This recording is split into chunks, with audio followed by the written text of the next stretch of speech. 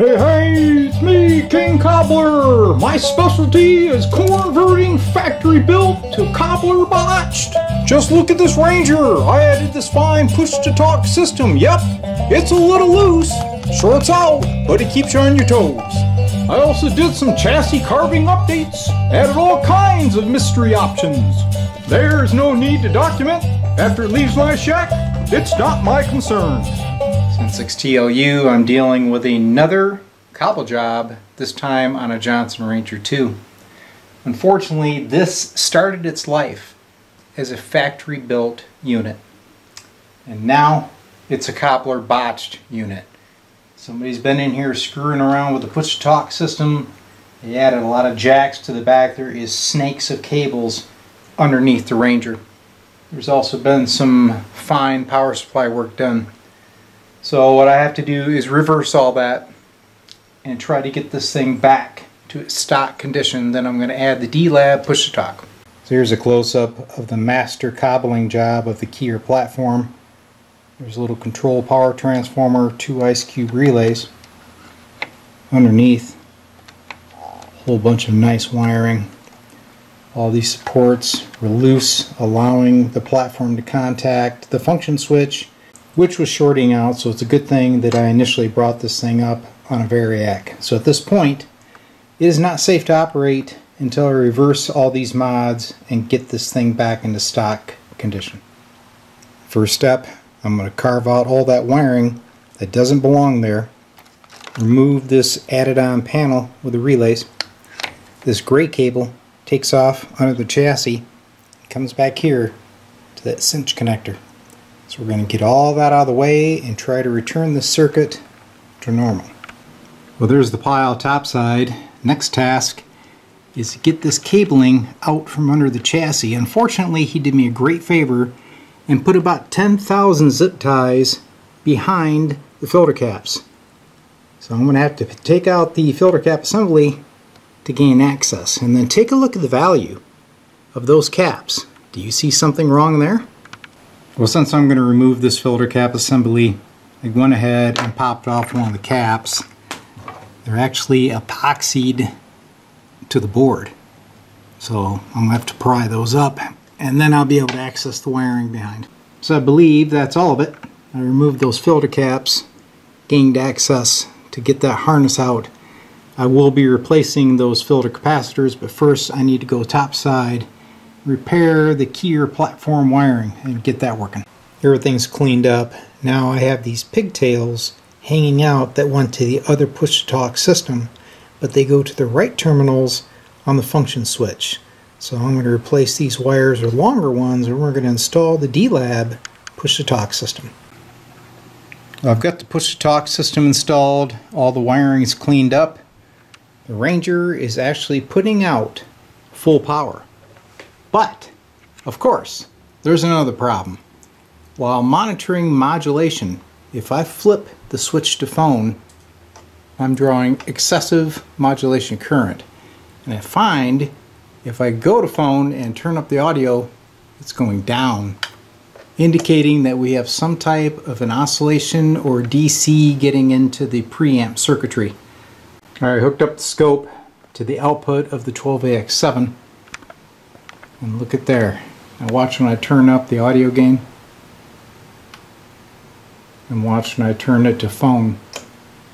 So there is the oscillation. It appears to be low frequency, so I'm wondering if for some reason the filaments are getting into my signal. And somebody has changed the preamp tube socket and recapped that area. I'm wondering if they were chasing this oscillation to begin with. So I'm going to look real close and make sure that everything got connected properly. So I think I may have just found the source of our oscillation, it's actually power supply ripple. So there's this capacitor made by Jackson, which I've never heard of. I'm monitoring off it right now with the scope. Look at that. That's a lot of ripple. Goes right off the screen. I betcha that cap is causing all the problems. We're checking that same point on the power supply after the filter cap's been replaced. You can see very little ripple. Alright, going back and checking that modulation meter, I can advance the mic gain. There's no deflection.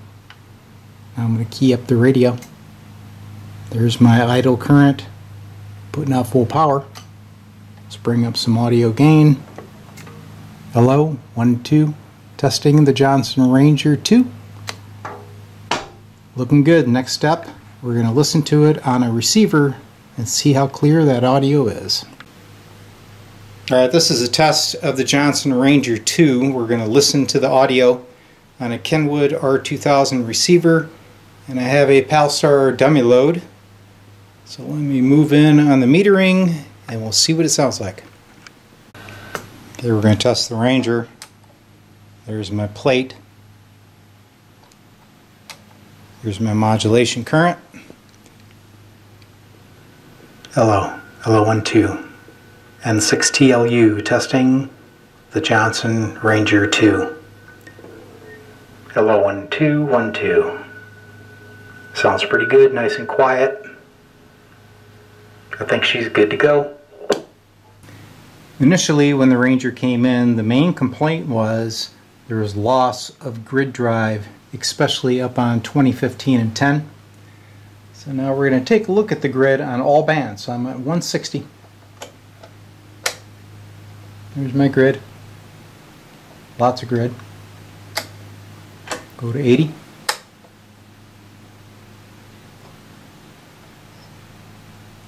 Once again, nice grid current. There's 40. And then we go to 20. This is where he said it was really suffering.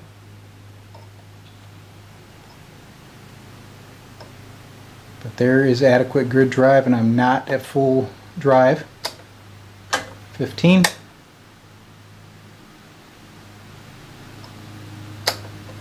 Here's 10.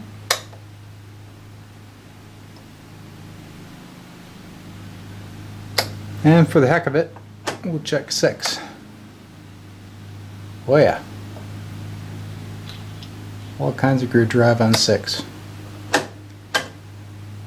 So the combination of the mods that were installed in this Ranger plus the fact that it had bad filter capacitors were all attributing to the low grid current.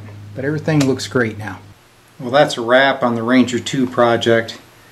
It was sad to see what became of this factory built unit the repair actions actually exceeded the value. Reflecting on this repair, it was quite obvious that the cobble mod jobs and the use of poor quality components caused all the malfunctions that this radio had. So on one hand, I hate to see this, but on the other hand, it's usually an easy repair. Just pull out the modifications and return the radio to its stock condition. It generates income for my shop, plus provides interesting material for videos. So cobblers, keep it up.